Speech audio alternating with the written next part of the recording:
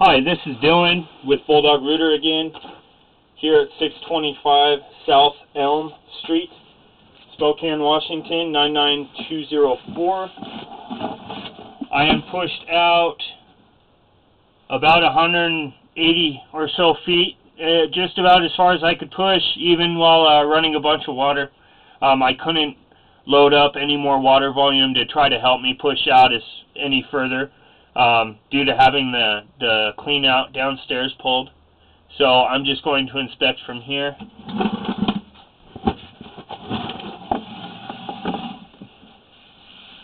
Got lots of offsets and separations in the pipe just from settling. There's lots of uh, additional drain tie-ins here. Uh, we're in 6-inch diameter sewer pipe. And there's lots of sections that look like that, that just have a bunch of buildup. Um, looks like they're clogged at that point. Um, but 625 is clear. And here you see some stress fractured pipe. Fractured slash broken.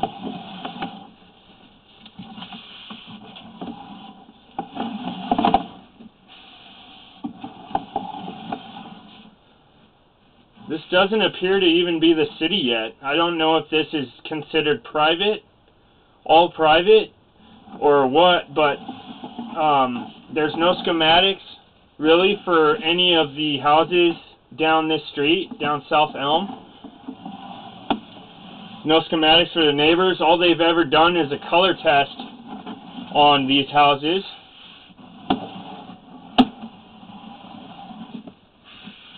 I have no idea where this runs.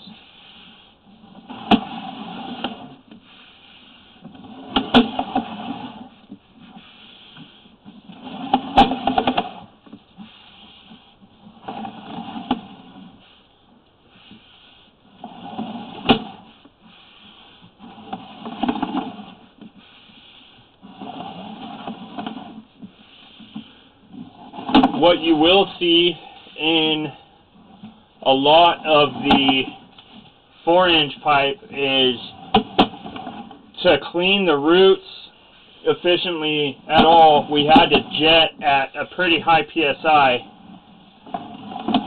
um, and that did uh, definitely chipped kind of chipped the clay tile pipe as you can see here. There's no way around it to get a good cleaning I didn't stay in one spot at all. I really, I worked it pretty slowly uh, through these joints, cleaning and clearing out as much as of the roots as I possibly could.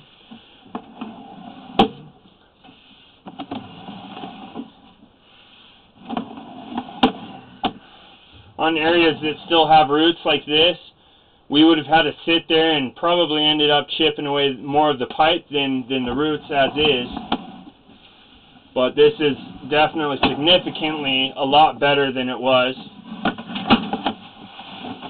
Here's what looks like another drain tie-in or potentially a clean out. Looks like a hole in the top of the pipe, but it's at the bottom of my screen, as you can see.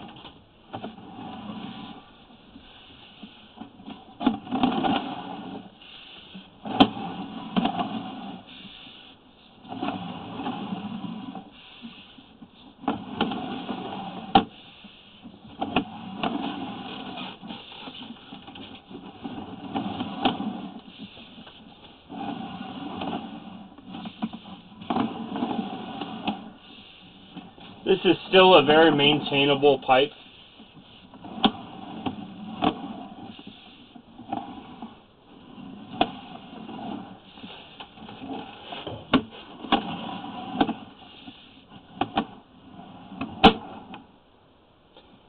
Here, actually, in this entire joint here, you can see a, uh, starting at your left, at the left of the screen, which is the right side of the pipe, you can see that hairline fracture throughout that entire three foot section. Uh, the longer roots grow, the more harm they cause to the pipe. They will stress fracture and eventually collapse the pipe, and that's why it is so important to do maintenance. Same with this joint. It's just a, uh, a weird spot. Um, those roots are obviously coming in from far left. You can see another, what looks like another drain tie-in. And I believe this is the 4 to 6 inch transition because it looks like I'm dropping down into that. So that that's potentially a 6 by 4 or a, a 6 by 6 Y potentially. Uh, but they did not like to run right level as far as for for access. We're back in the 4 inch diameter sewer pipe. It was extremely root bound, more so than the 6. But you can kind of see I mean, there wasn't any way around it to get this pipe this clean. It didn't really damage the pipe, but it, it can definitely make it look a little coarse and jagged. And the longer I'd keep the jetter right here in this section, for instance, you know, trying to get these roots, we would just end up chipping away the pipe more than we really want to. There's a definite sag in the pipe there.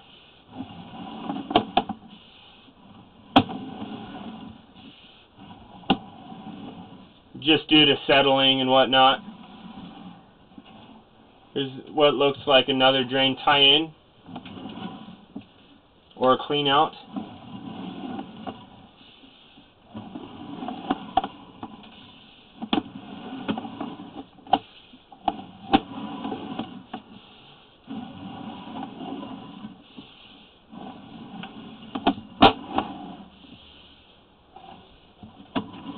We made several passes at uh, 2 and 3,000 psi.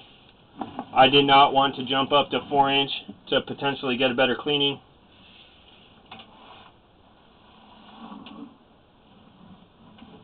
That's probably a 4x4, why i assume that they uh, probably really poorly capped or plugged. Um, and it's obviously, you know, obviously roots are growing into that spot getting a little closer to the building's foundation.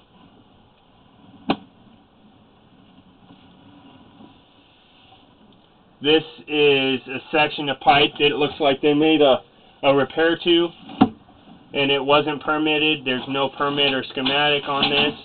That's a pretty good offset there too. We're underwater. Now we're back out of it, but you can see this section is kind of acting like an inline P-trap. You can see, so you flush into it, it fills up, and the waste drains out the other side. But over time, a lot of the solid waste can build up throughout that section.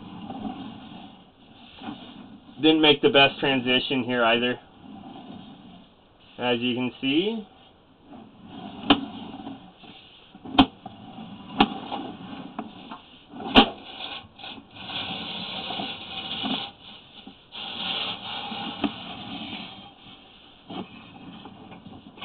and I'm coming up out of the cleanout. That's your video inspection. Thank you for choosing Bulldog Rooter.